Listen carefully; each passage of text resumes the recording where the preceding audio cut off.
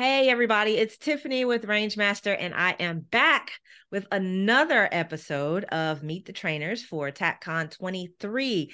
Unfortunately, we are losing another trainer. Eh, you know, it happens. Monday is like the the day of the the month of the what like there's like this this vacuum where you know it's like the October surprise in in in elections, but we always have hiccups in March because of course it's almost time for the event. So, what better time for stuff to go wrong, right?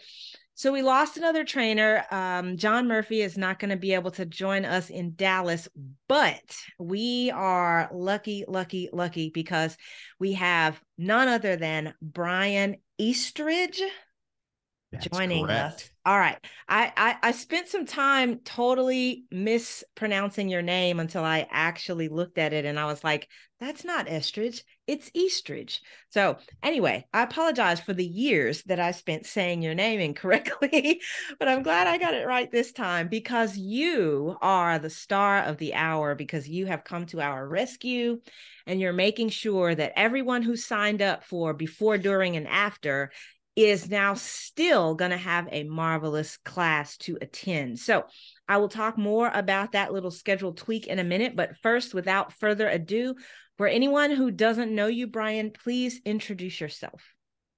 Well, I'm Brian Eastridge. I'm from Oklahoma City. And uh, it, first of all, it's a great honor. And it was a very pleasant surprise to get a phone call from Mr. Givens the other day. And, and, uh, I was happy to happy to to step in. So I appreciate Thank that you. and throw a shout out to you and Tom for that. And but I've been I've been a cop for almost 21 years and a firearms instructor for about 21 of that.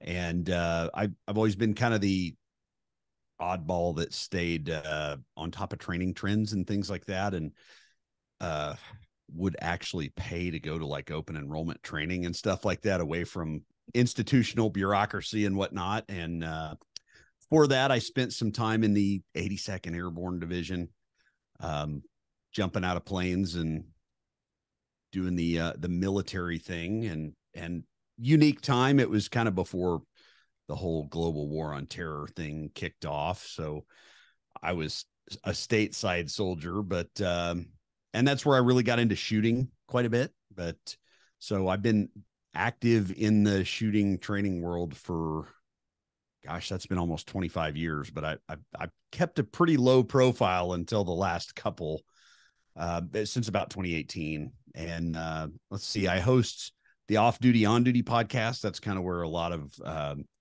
i've made connections with a lot of the Rangemaster family there because uh, they tend to be frequent guests.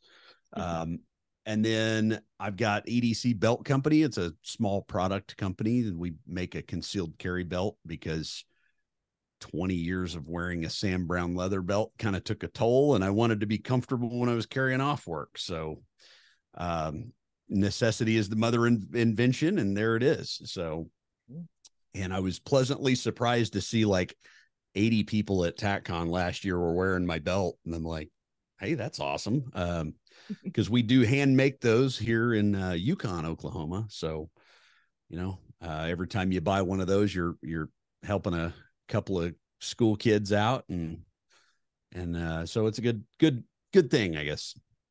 Very cool. Very cool. Well, you are certainly no newcomer to TacCon. You've been coming to TAC, TacCon for quite a while. You're a Rangemaster certified instructor.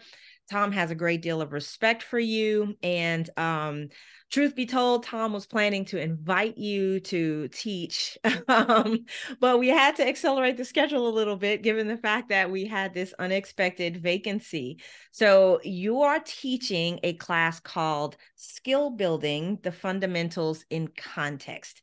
It's a mm-hmm. four hour live fire block and it's going right in the same spot that before, during, and after had been. So your first offering is Saturday at 1:45, all afternoon in Bay 6, and then you're going to repeat that block on Sunday, same time block, same bay, Bay 6. So tell us, and those two classes are full already. So folks, sorry, you can't jump into Brian's class unless he has an open spot from a no show. But for the the pre signups, both those both ah, I can't talk. Let's try that again.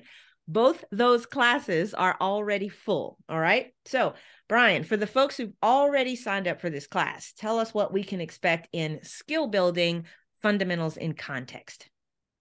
Well, it's a condensed version of a one and two day course that I do that uh, I found in the training world. We kind of, uh, there's like this gap in the middle between I know how to run a gun and I know how to run a gun at a really high level of proficiency.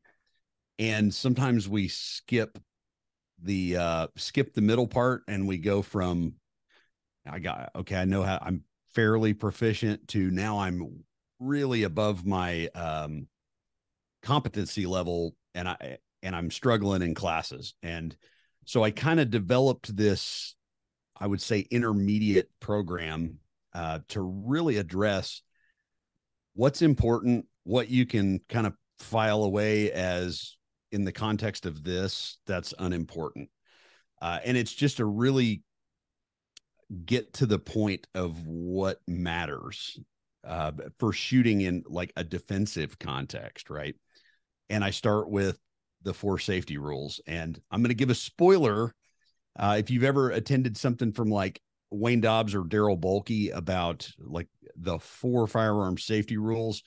Uh, part of my lecture, we go into we go into that into pretty good detail, and I give you a lot of. I try to give a lot of thought provoking um, application of those and places that I've seen it fail multiple times.